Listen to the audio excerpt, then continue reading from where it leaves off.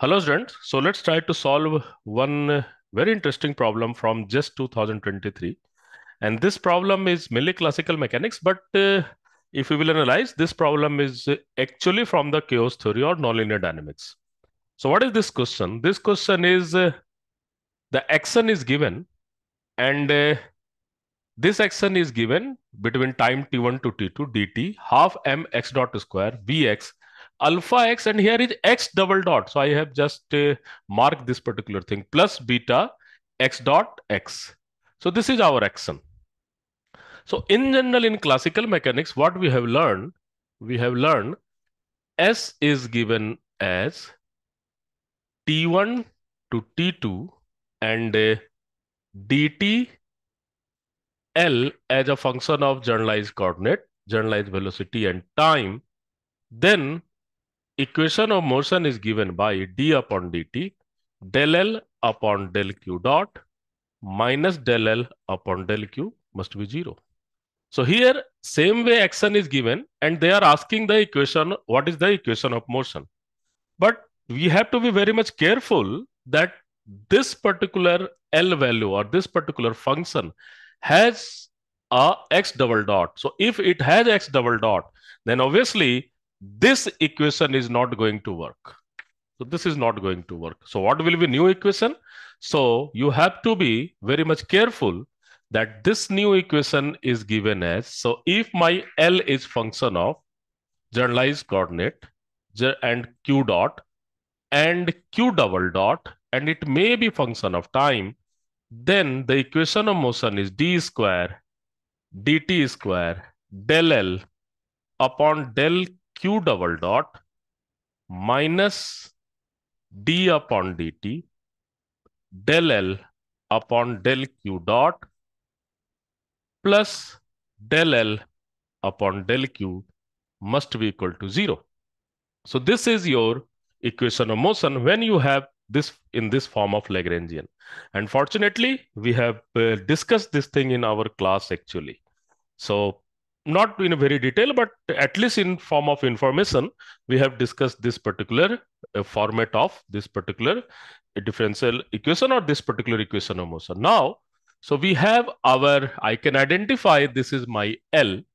So my L is given as half m x dot square. So this is just like a kinetic energy, potential energy, and two some weird term is there.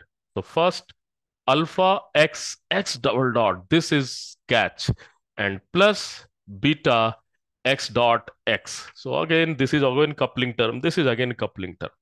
So we have to just use the equation of motion. The equation of motion will be d square upon dt square. The generalized coordinate is x.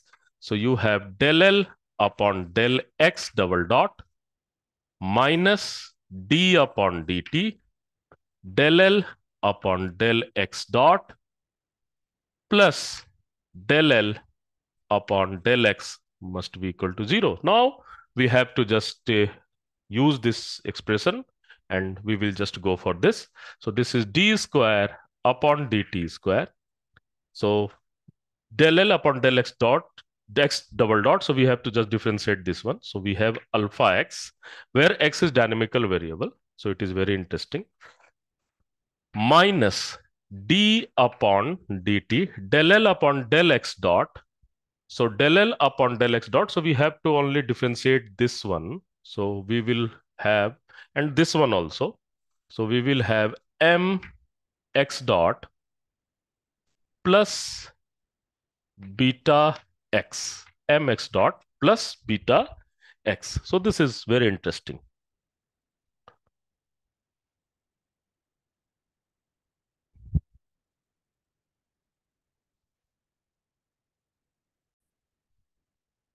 So here is, so this m will be separate. So mx dot, so we have differentiate this one. And here is plus beta x. So this will be there. And now the last term is plus del L upon del x. So this term will be going to differentiate. So this will be minus del v upon del x This term is also going to differentiate. So plus alpha x double dot. This term is also going to differentiate. So plus beta x dot must be equal to zero. So now we are going to differentiate this term. So alpha x double dot, because x is dynamical variable and x double dot is defined, so you can differentiate it twice. So minus m x double dot minus beta x dot. So this will be differentiated x dot minus del v upon del x plus alpha x double dot plus beta x dot must be equal to zero. So this term and this term is cancel out. This and this will couple down. And now we have a final answer. So this and this will be add on.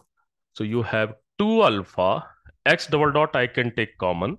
So 2 alpha minus m x double dot and here this term will be survive here.